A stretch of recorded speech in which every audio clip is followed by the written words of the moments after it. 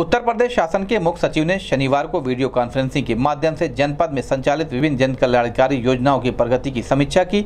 गोरखपुर के एनआईसी सभागार में आयोजित वीडियो कॉन्फ्रेंसिंग में जिला अधिकारी के विजयन पांडेयन, मुख्य विकास अधिकारी अनुज सिंह, एडीएम सिटी राकेश कुमार श्रीवास्तव, जिला प्रोबेशन अधिकारी सरोजीत सिंह सहित संबंधित विभागों के अधिकारी मौजूद रहे। इस दौरान मुख्य सचिव ने सुमंगला कन्या योजना की प्रगति की समीक्षा की तथा योजना में पात्र लाभार्थियों को समय से पंजीकरण कराकर उन्हें धनराशि उपलब्ध कराने के निर्देश दिए। इसी के साथ ही मुख्य सचिव ने अन्य योजनाओं की प्रगति की भी समीक्षा की तथा आवश्यक दिशा निर्देश दिए। के जो लोग हैं वो आ, उनके पास ये भेजती और अंत्योदय है। तो उसमें हमें दो लाख वालों को तो ऑटोमेटिकली राशन कार्ड के आधार पर करें। क्योंकि डीएन साहब मुरादाबाद का जो क्वेरी है वो इस मामले में रिलेवेंट है कि थोड़ा सा दिक्कत आ जाएगी कंट्रोल करने में चेक करने में और एलिजिबिलिटी क्राइटेरिया डिफाइन करने में। लेकर राशन कार्ड बहुत लंबी बड़ी पॉपुलेशन को कवर करते हैं मैम। सेवेंटी परसेंट पॉपुलेशन को। तो इसको अगर कर दिया जाए कि अगर राशन कार्ड नहीं होगा then only we will ask for के self certification but if he is a ration card holder then first priority should be given to the ration card holder Question of giving priority because we have lots of funds, we have adequate budget, so we will cover everybody who is eligible.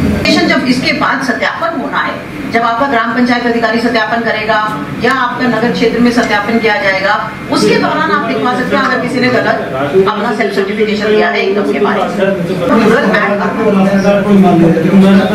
and it is on self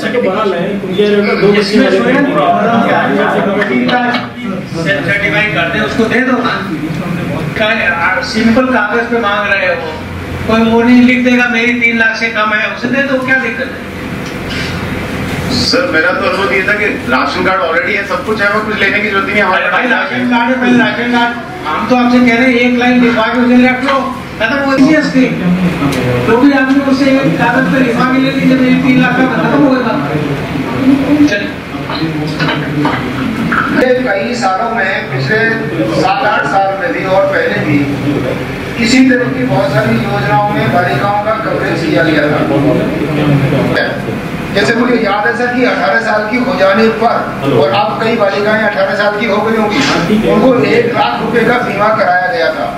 ऐसी बहुत सारी योजनाओं में जो बालिकाएँ अगर पहले से covered हैं अभी जो कहा जा रहा है कि सभी बालिकाएँ जो इस एज ग्रुप में आ रही है सबको लाभ मिलेगा।